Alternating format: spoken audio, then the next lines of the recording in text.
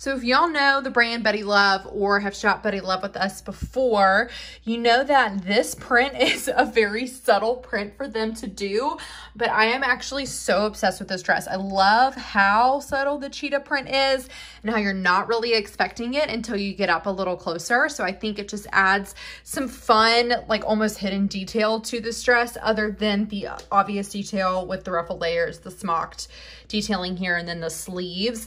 Just think this dress is really pretty, perfect for fall. Um, I have it paired here with some tennis shoes, but you could also easily pair it with wedges as well, or boots um, when it gets a little cooler. I just love this dress. This is our Ray Black Cat dress. Um, and it fits really nicely too. They made these dresses a little longer, which I love.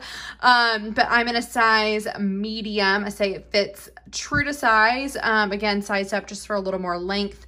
But um, other than that, the rest of it fits true to size. I love this one. This is definitely something that needs to be in your wardrobe for fall.